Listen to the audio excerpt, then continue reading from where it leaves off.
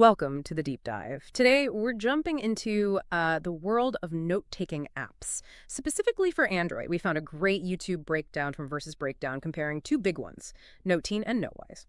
And our goal here is really to unpack the key features, the main differences, so you can get a better sense of which one might actually fit how you take notes. Okay, let's dig in. Let's start with Notein. The source material uh, really highlighted its handwriting experience, said it was smooth, responsive.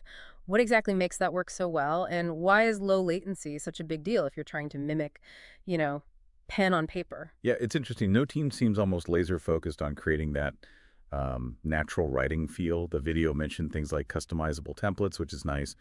But the key is that low latency writing. It basically means almost zero delay between your stylus touching the screen and the ink appearing. Makes it feel, well, real. Mm. Plus, it has various brush effects. So, yeah, it's really geared towards people who take lots of handwritten notes, maybe for class or annotating PDFs heavily. Right, like for diagrams or marking things up. Exactly. And speaking of access, the pricing is pretty interesting. There's a free version, standard monthly or annual premium, but they also have a lifetime option. It's around $12, which is honestly incredibly accessible if handwriting is your main thing. Hmm, 12 bucks for life. That's quite appealing if it fits your style. But okay, what if you're not mainly handwriting notes? Does Notein still hold up? Or is it maybe too specialized? Does that focus limit it for, say, someone who mostly types? That's a really good point. I mean, it can do basic text notes and PDF viewing, of course, but its standout features, the things that make it special, are definitely tied to using a stylus. If you primarily type, you probably won't tap into its biggest strengths. Okay. Yeah. So it shines for handwriting, but maybe not the all-rounder for everyone. Okay, so then let's pivot. What about Notewise? Our source suggested it has a, uh, a pretty different philosophy, more connected, and a sleeker UI, maybe more like what people expect from, say, an iPad app. Exactly. Notewise definitely seems aimed at a more, let's say, interconnected workflow. Collaboration is a big piece. The breakdown really emphasized its real-time collaboration. It's not just sharing a file. It's like a shared digital workspace. Think your projects, brainstorming sessions. Ah, so multiple people working on the same note at once. Precisely. And beyond that, it has strong cross-platform syncing. So your notes are there on your Android tablet, your phone, maybe even your desktop. And it offers flexible cloud storage options, starting from 1 GB up to 100 GB, which is quite a range. Okay, storage options are key. What about the cost for NoteWise? It starts at $2.99 a month for that 1 GB tier, with higher tiers for more space. And interestingly, it also has a lifetime license, but it's priced at $16.99. So yeah, if you compare the two, NoteWise is built for sharing, syncing, accessing notes anywhere, managing potentially larger archives. That all sounds powerful, the real-time stuff, the syncing everywhere.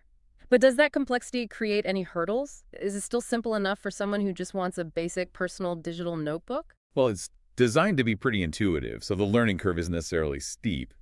But yes, it definitely presents more features up front.